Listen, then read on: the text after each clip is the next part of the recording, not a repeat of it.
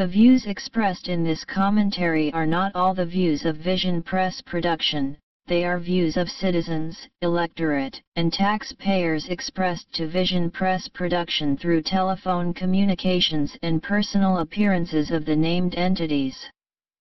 One of the roles of the mayor is to hear public complaints and in a mayor's report to Coalport Borough Council explain the complaints.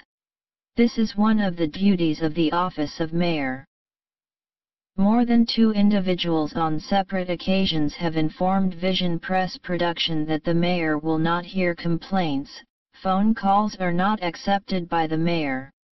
Valid complaints are set forth by the citizens, electorate, and taxpayers with denial of response. Among the complaints set forth to Vision Press production were buildings vacant and inhabited by transient individuals. Further, there are buildings collecting residual waste possibly causing a site for rodents and other creatures of disease and harm to neighboring residents and passer-by individuals. Additionally, individuals burning toxic materials extremely adjacent to other residents within a 20-foot distance that is encroaching upon within the victim's home. To a new matter, appears from the last two Coalport Borough Council meetings, the pseudo-secretary is using the procedural meeting device named Agenda as a whipping device to control 8 PAC.S 1005 powers of the Council. Coalport Borough Council is by law the authoritative power of the municipality. The pseudo-secretary manipulatively cries out in the meeting, the issue is not on the agenda and council cannot hear the matter.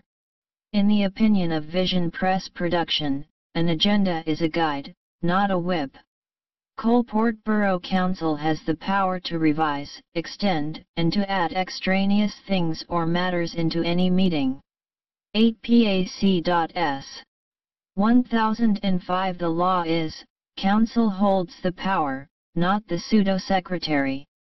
Will the Council wake up and stop the manipulation of the pseudo-secretary?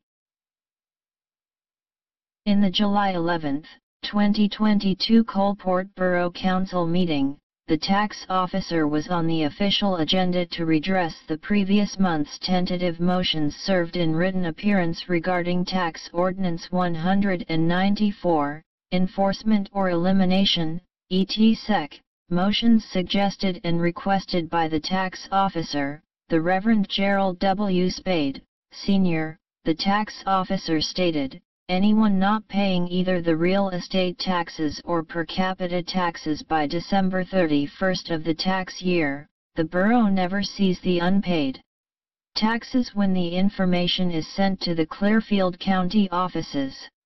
Approximately, $10,000 of unpaid taxes of Coalport Borough are never seen again by the Coalport Borough Treasury. As reported before, two councillors do not pay taxes to the borough. Either they pay their penalty amounts of money to the county or they refuse to pay taxes in Coalport Borough. As reported before, the two councillors owe per capita taxes as far back as 10 years. Why should we honest taxpayers pay per capita taxes while two councillors refuse or evade paying taxes to Coalport Borough? According to the two councillors, we pay payments to the county every year for real estate taxes. The result of the matter of paying taxes to Clearfield County, if anyone does not pay taxes by December 31 of each year, the collectible money sent to the county is never seen again, according to sources. If the county does collect the unpaid taxes sent to them, the bank statements of Coalport Borough do not reflect any deposits from Clearfield County. Be advised, Clearfield County imposes, fines, penalties, and interest on unpaid taxes sent to Clearfield County by Coalport Borough as unpaid taxes after December 31st of each year.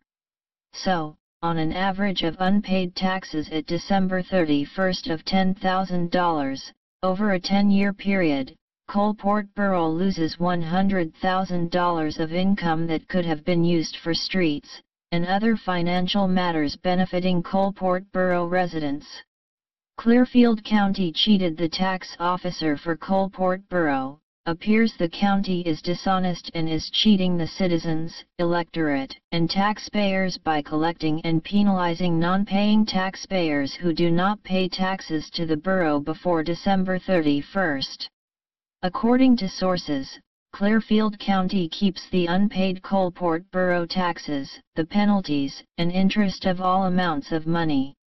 Ordinance 194 of Coalport Borough has a penalty for not paying per capita taxes and real estate taxes a sanction of $50 penalty.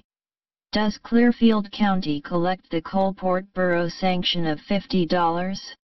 If Clearfield County does collect the $50 for each individual, over 100 non-paying taxpayers of which two are councillors for Coalport Borough, Coalport Borough Treasury never sees or receives the sanction.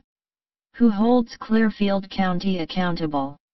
Electorate remember in the next election to remove county officials by vote against their unreasonable seizure of Coalport Borough taxes, in the opinion of Vision Press Production. Anyone not paying taxes in a tax year before December 31 is a traitor to all honest taxpayers of Coalport Borough. The two non-paying councillors of Coalport Borough are traitors betraying the oath of office as a councillor and depriving all taxpayers of needed funds to ensure financial safety of the borough of Coalport, in the opinion of Vision Press Production. Respectfully. Vision Press Production. Note, http colon slash slash www.wkeys.com Click on Coalport Borough Council meetings to see videos.